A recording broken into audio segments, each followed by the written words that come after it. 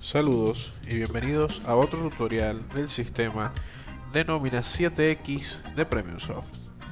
En esta oportunidad vamos a ingresar al sistema de nómina para configurar un servidor FTP.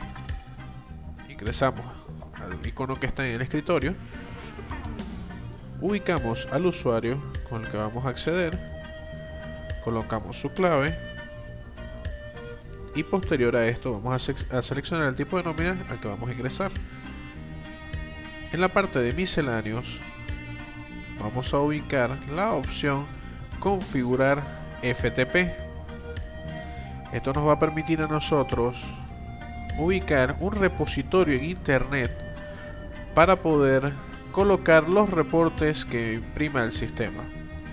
Ubicamos el código del repositorio, dado que podemos tener varios, FTP site, colocamos ahí la dirección del servidor FTP, nombre de usuario, puerto, password, la carpeta en la que se va a almacenar y la conexión.